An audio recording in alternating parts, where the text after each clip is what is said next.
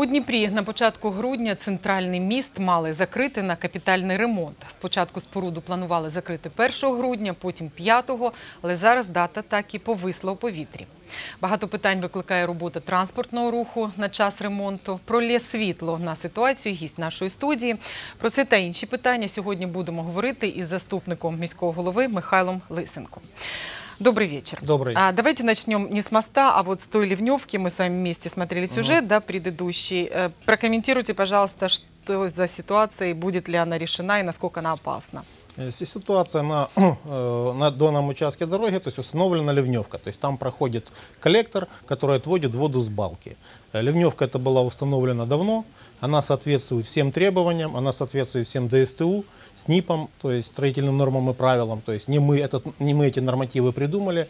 И в настоящий момент, э, то есть технологически, ее до реконструкции планируемых улиц заменить э, возможности не представляется.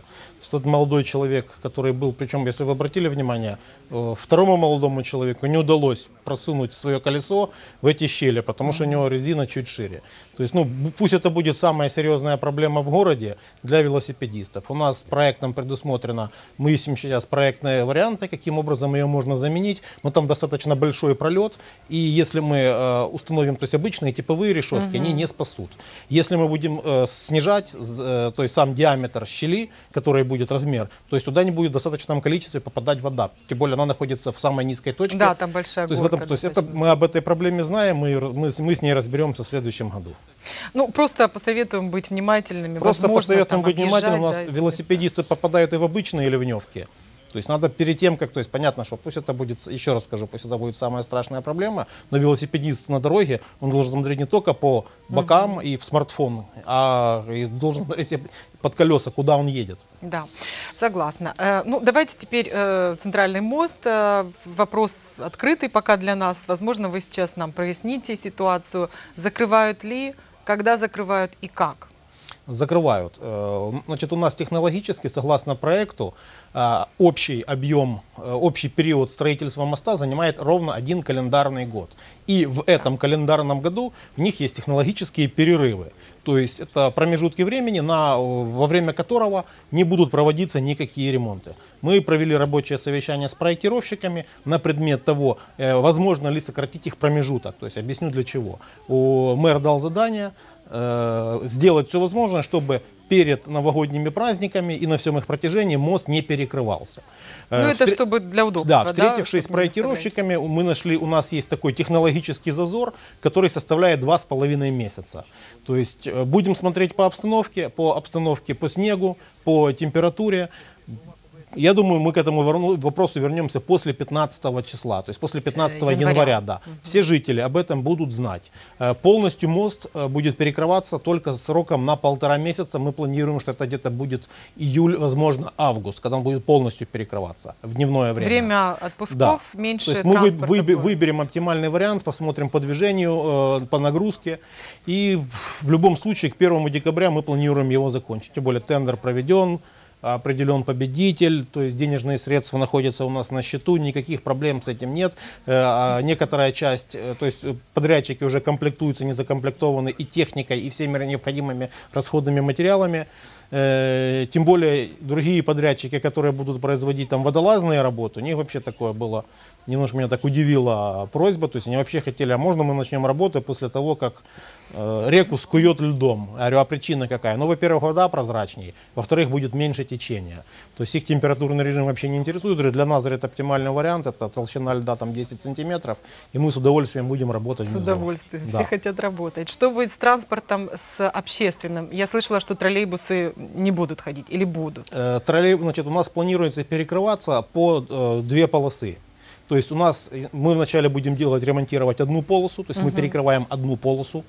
Э, Движение в две стороны будет по одной движ- полосе. Две полосы в одну сторону и две полосы в другую сторону. То есть две полосы с левого берега и две полосы на левый берег. Полностью ночь будет, мост будет перекрываться только ночью. Это с часу ночи до 5 утра. Он будет перекрываться, движение будет полностью. Э, Сейчас мы разработали схему, согласно которой возможно будет э, в случае перекрытия моста, чтобы троллейбус шел только по одному направлению. То есть либо на левый берег, либо на правый берег для его возможной дальнейшей закольцовки. То есть рассматривается сейчас и такой вариант. А э, насчет другого транспорта, есть ли какая-то схема? Потому что очень многие люди волнуются, что у них будет занимать больше времени добираться на работу там, или по, по другим делам. То есть э, как э, вы распределите транспорт, по каким направлениям? Другой транспорт, все-таки нагрузка на Дор- центральный дорожная, большая. дорожная схема у нас сейчас рассматривается. Есть несколько вариантов э, удлинения маршрутов, есть рассматривается вариант снятия некоторых транспортных средств, дублирующих маршрутов, для того, чтобы грамотно э, направить пассажиропоток. Мы сделаем все возможное для того, чтобы жители э, получили минимальный дискомфорт от ремонта моста. Если вы помните, порядка, если я не ошибаюсь, 9 лет э, назад, когда у нас проводился одновременно текущий ремонт сразу трех мостов, у нас было и такое. И особ- да, были проблемы, были пробки, но состояние моста, в котором он находится на сегодняшний день, это гараж- гораздо опаснее. Я не хочу там никого пугать, в каком он состоянии жителей, но это чрезвычайно, это Опасно. крайне важная ситуация для горожан. И люди увидят, и э, насколько мост и расширится, насколько он будет, станет более удобным, и какое там будет современное дорожное покрытие, и какие будут э, механизмы для безопасности дорожного движения, для безопасности велосипедистов без решеток, как на Шевченко, будут ездить, и все будут довольны. Мгм. Сейчас вот э, звонили наши зрители, говорят, что на 12 квартале сейчас перекрыли движение транспорта вроде бы из-за коммунальных проблем. Э, Есть данные, что там ларьки какие-то сносят. Вы не в курсе? Я в курсе, Вот это в не коммунальная, это не коммунальная коммунальная. проблема, это такое, это такое искусственно организованное движение сопротивления. То есть там все вот эти вот э, собственники непонятных конструкций, которые расположены на улице Инженерной, без всяких разрешительных документов вообще, у них есть там ну, э, очень незначительная часть. И есть решение исполкома о возобновлении автомобильного движения по улице э, этой ин- Инженерной. То есть было принято решение о их окончательном демонтаже, то есть демонтировать вообще полностью все. То есть вы видите, у нас ежедневно, каждый день, я смотрю статистику, у нас ежедневно демонтируется от 15 до 30 незаконно установленных э, мафов. Это вызывает бурю критики, но, как правило, вызывает бурю критики людей. Э, Мы там, допустим, встречались, там мэр проводил рабочее совещание, там приходят те же самые люди, которые работают. Вот нам некуда идти. Сколько вы там зарабатываете? Я зарабатываю 4 тысячи гривен. Говорю, отлично, давайте. Мы согласны на любую работу. Говорю, хорошо. Вот мне управление по ремонту автодорог, которые занимаются, вот мне нужны люди. Средняя зарплата 6,5 тысяч гривен. Приходите. Не хотят. Не хотят. То есть они кричат, что нет работы. Пожалуйста, у меня дворников на сегодняшний день работает 900 человек. При необходимом числе 3,5 тысячи. Ежемесячно уменьшается количество дворников. Ежемесячно. Никто не хочет. А, ну, вы говорите о критике. Тут я хотела вас похвалить. А, Не знаю, хвалили уже вчера вот за очистку дорог во время такого снегопада. Ну, он вообще-то не, не совсем сильный был, да, не так, как это было в предыдущие годы. Но все равно, в общем-то, мы были все очень довольны. Поэтому а, возникает вопрос, не будет ли так, что следующий снегопад более сильный, возможно, а вы уже все потратили, все смеси, э, технику, там будут проблемы? Или готовы к зиме полностью? Мы готовы, проблем не будет. У нас существует стратегический запас топлива до апреля месяца. У нас существует э, огромное количество и песко-соляной смеси, и соли, и песка, и присадок необходимых. Мы, то есть, будем говорить так, не дай бог, какое-то чрезвычайное событие, что не может никого, никто никуда не может чего привезти.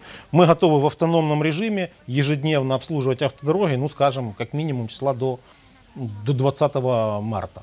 Вообще, да даже, даже у бордюра в центральной части города, во всяком случае, нас то, что просто- видела я, было У почищено. нас просто, у нас просто совершенно, то есть я в этом году, тот год для меня был такой пробный, я увидел все недостатки, то есть ту зиму я тоже встретил как заммэр, он для меня был пробный, мы посмотрели все слабые места, мы впервые в городе приступили к подготовке очистки до того момента, как выпадет снег. То есть мы заранее нанесли на все дороги, нанесли все необходимые реагенты, чтобы лед не образовывался. И когда даже если где-то в местах его прихватило, учитывая то, что реагент уже нанесен, его гораздо легче почистить. То есть мы следим, вот сейчас мы заканчиваем, выезжая на тюдла, смотрим, инспектируем.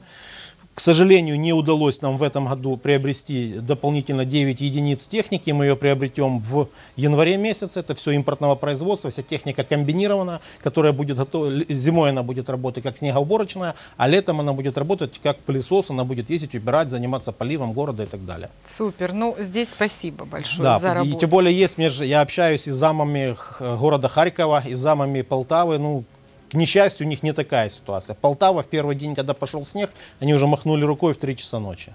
Ну, у нас э, не столь обильный снегопад был, но тем не менее Такой же, дороги в хорошем состоянии. А еще один важный вопрос, что будет с привокзальной площадью? Будут ее реконструировать? Не будут? Когда и по какому проекту? Очень много там обсуждений по выбору проекта. Смотрите, у нас было решение еще в апреле месяце, когда я собрал всех инициативных жителей города, когда я собрал группу Smart City в Белом зале в городском совете, и я им сказал, ребята, давайте, пожалуйста, сделайте, кто готов из вас сделать эскизный проект, давайте его посмотрим, обсудим, какие будут варианты. Первый был вопрос, а сколько нам за это заплатят? Я говорю, нисколько. Это конкурс, приносите. Из, все- из всего большого количества, когда узнали, что никто ничего платить не будет, оказалось э, всего три организации. Одна из них это наша компания Дольник, если я не ошибаюсь, они сделали за свои личные средства эскизный проект. И после этого еще две какие-то компании, но не принесли, но там просто будем говорить так, схематический рисунок, нарисованный от руки карандашом, и непонятно ничего. Мы собрали рабочую группу, собирались несколько раз с учетом всех активистов, с присутствием всех активистов, которые сегодня что-то там критикуют, выслуживали все пожелания. Что вы хотите? Мы хотим велосипедная дорожка, чтобы шла так, так, хорошо.